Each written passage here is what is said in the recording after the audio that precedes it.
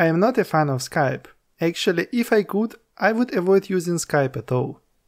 But I still need to use it from time to time to connect with some people. And this week I tested Skype for Web on Linux. And in this video I will share with you my experience.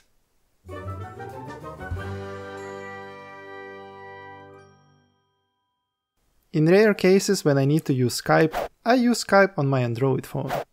But recently I have read this article on ItsFoss website about Skype for Web, and I decided to test it. And from this article I also learned that Skype for Web only works with Google Chrome browser. And I can also confirm that indeed, it doesn't work in Firefox. As you can see, it just says that the browser is not supported. But if I go to my Chrome browser, everything works just fine. And this is the standard interface of Skype. You have your contacts on the left, the main window is your conversation window, and you can execute calls from here. So let's execute the call.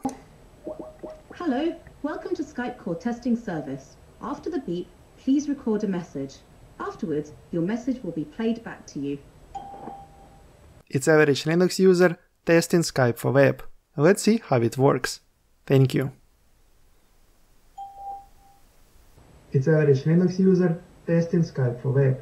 Let's see how it works. Thank you. If you are able to hear your own voice, then you have configured Skype correctly.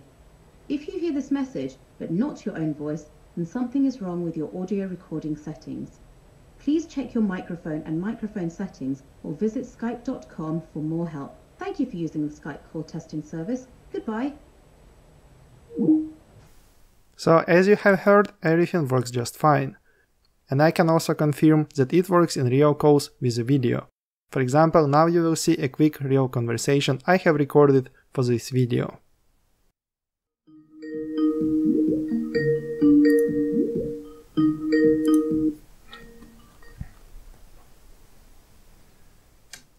Hello, hello. Can you hear me?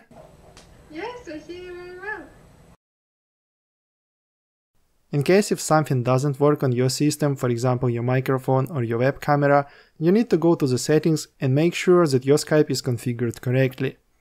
Here you go to audio and video, and usually automatically you should be able to see yourself here in the camera.